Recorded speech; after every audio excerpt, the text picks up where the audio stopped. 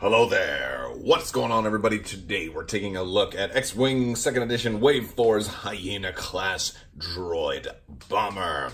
This is early to us thanks to Barnes & Noble. Uh, so if you haven't already, check your local Barnes & Noble. You might be able to try online. Um, and uh, you have to pay through the uh, through the nose because they give no discounts. And well, I mean, there's ways to get discounts, but it's MSRP and you gotta pay shipping too. So it's like, woo! Definitely would rather support my FLGS, but uh, Barnes & Noble is like a month early, so we're going to take a look at this. We're going to pop this thing open, and also want to remind you guys about the giveaway, giving away $25 Amazon gift card, and all you have to do to enter that is to be a subscriber and leave a comment on this or one of my videos, and you can get an expansion of your choice, or put that towards something else as well. So we've got our cardboard, and we've got our ship, and I'm also going to open this thing, and we will start looking at this. thing. These are, that's one thing I honestly, X-Wing second edition, you made your ships so much harder to open up. Like you need like a quick release tab or something on these things. All right, all right, finally. Got it. Here, whoa, let's not break it. There it is, wow. All right, there is our Hyena Bomber. We've got our black and gray paint apps. We've got our Separatist logo right there above the cockpit. We've got our red highlighting for the uh, for the droid's eyes. We've got some teeth marks on the uh, side, which looks cool. Underneath, on the bottom, we've got a little red dot on there. Some simple paint apps, but simple but effective. There it is, folks. Now, let's dive in to the cardboard. All right, so we've got our cardboard out of the bag now, and uh, first off, you've got your little expansion pack contents thing. Now, while this isn't uh, as juicy, we do have some things that are important in here, such as um, we're looking at like things like the fuse marker and the rules for the electro proton bomb, which is going to be a big deal in here. It's a really, really cool bomb, uh, and we'll kind of see how that one works out. So Yes. All right, let's go ahead and, uh, and then we've got our credits on the back. Thanks, everybody. All right. Now, oh, here, let's see. So we've got, this is the electroproton bomb. We've got some of the uh, bomblet tokens for bomblet generators. We've got our, our, our, our stuff there. Our, our, oh, look, we've got a different side, too. Oh, you know what? I, I hadn't even realized that because I haven't really played Bombers much in 2.0, but like one side has got the white mark and one side doesn't. And it just now hit me. Now, you guys have probably already known this for a while, but that's in case you guys are both running the same stuff. Uh, so, you know, you could differentiate between one player's bombs versus the other player's bombs. And that just seems like absolute common sense to me now. And I just had never even thought of that until this moment. We've got fuse markers right there. Uh, and then we've got our uh, the rest of our, here's our dial. So if you want to take a look at that. Uh, right. I'm loving that two Talon roll. That's really cool. And uh, yeah, so we'll make sure we don't lose our little peg. And uh, and let's look at the cards. So, and again, this is a, a, a two attack ship, no shields. So it's not going to be, you know, not going to be that crazy. But we've got uh, DBS 404 here. And of course, they all have networked calculations also, which is really, really helpful. Um, and, you know, I, I love that that's going to let them work just with the regular, uh, the other droids already. And so they fit right into your existing swarm and keep the same synergy. Uh, but also, you know, they they have uh, they have the reload ability, which is also very cool for your reloading your ordnance. Uh, they can barrel roll into target lock. Target lock can be very important for them. Um, and DBS 404 is while you perform uh, primary attacks at range zero, or you can perform primary attacks at range zero, so kind of like your Arvel Crynyd right here. And uh, while you perform an attack at range 0 to 1, you must roll one additional die. After an attack hits, suffer critical damage. So he don't care. He is just gonna gonna hit you and, and take some damage. Uh, and then we've got DBS 32 Charlie. Oh, by the way, you notice there's no reload here. We've got Jam so this is like also really a really cool thing. We talked about this in the in the preview article because I think most of the stuff that's here has already been uh, previewed.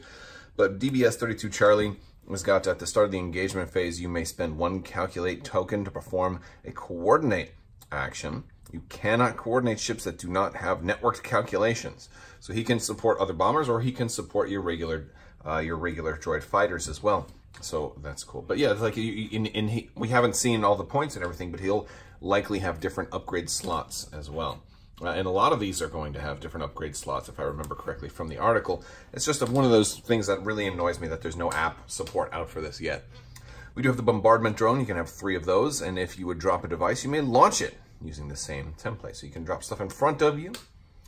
Uh, we've got the Baktoid prototype. And there we go.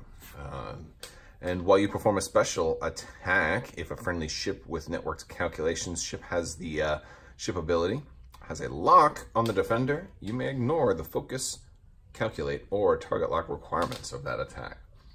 That's a nice thing, but it won't be as crucial because we have some things that we're going to see later on that are going to let us take target locks even during the engagement step, which is really cool. And this is a regular Separatist bomber. And we have the Techno Union bomber. Or the Techno Union will support your treaty. Oh, wow. That I hurt my voice after trying to do that. All right. Um, so we have that. Now we got, well, let's look at upgrades. Uh, let's pull those out. Yeah. Wow. It's hard to do the Techno Union voice. Don't do that at home. Don't try, don't attempt this madness at home. We got passive sensors. This one, just, it, it's nuts. It's nuts, right? It's using the system slot and, and, and, no, no special requirements either. It's got a recurring charge. You spend the charge, and you can only perform this action during your perform action step. And basically, uh, while your charge is inactive, so in other words, if you took that action, uh, you cannot be coordinated. Before you engage, if your charge is inactive, you may perform a calculate or target lock action. So basically this is target locks during the engagement phase, which is really, really good for those lower pilot skills. I think this is one thing that's going to make people want to buy a lot of this expansion because I could see, you know, running like four or five of these guys and just really having alpha, alpha strike shenanigans. Uh, trajectory simulator, you can launch bombs using the five straight. We've got the plasma torps, which are very effective. And uh, after they hit, the defender loses a shield. We've got barrage rockets using up two missile slots, and I don't believe every version of the bomber will be able to take those. Only certain ones will, uh, and we're gonna have to wait and see. Same thing with the diamond boron missiles using two missile slots. Three, ch three charge on here, three attack, two to three. And with the target lock, you can spend a charge. After this attack hits, you may spend a charge. If you do, each ship at range 0 to 1 of the defender with agility equal to or less than a defender's rolls one attack die and suffers a hit or crit for each matching result. So this is kind of like your the you know your 1.0 assault uh, assault uh, missiles, so where you're hitting and ricocheting, hitting everybody else. We've got our relay here, TA-175. Uh, after a friendly ship at range 0 to 3 with Calculate on its action bar is destroyed, each friendly ship at range 0 to 3 with Calculate on its action bar gains a Calculate token. So he's consuming the, the remains of his digital brethren. And uh, here is the bomblet generator. We've seen these before. It's always a nice one.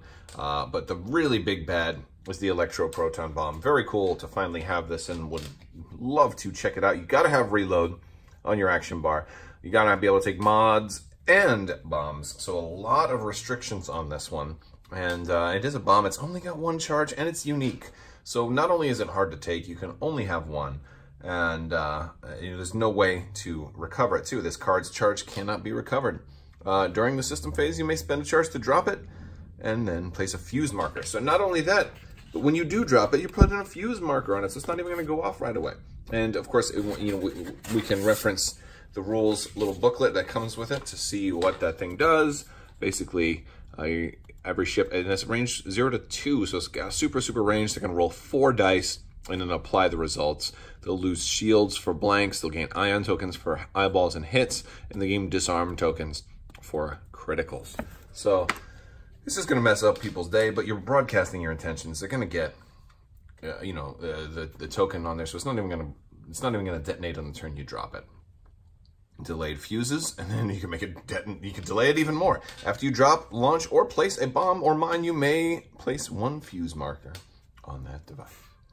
And then we've got our landing struts. Uh, they're open and closed. So we'll start, we start with them face up. Well, you execute a maneuver if you overlap an asteroid or a debris cloud and there are one or few other or one or fewer other friendly ships at range zero of that obstacle, you may flip this card. So you can't have two guys on the same one, right? When you flip, now your landing struts are open and he's walking. You ignore, oh, look at that. We got the AAT tanks in the background there. Maybe we're gonna see tanks in X-Wing, right? Like you can just deploy tanks on asteroids. I mean, they did something like, they did that with like AT-TE walkers in the Clone Wars. Uh, so maybe we'll see something like that one of these days. It's kind of like what they were doing, right? You ignore obstacles at range zero, if you uh, and while you move through them. Uh, and after you reveal your dial, if you reveal a maneuver other than a two straight and are at range zero of an asteroid or debris cloud, skip your execute maneuver step and remove a stress token. If you revealed a right or left maneuver, rotate your ship in that direction. After you execute a maneuver, flip this card. So basically you can just stand on the asteroid and just act like a stationary turret, which is very much like how what a, uh, a tank on an asteroid would be.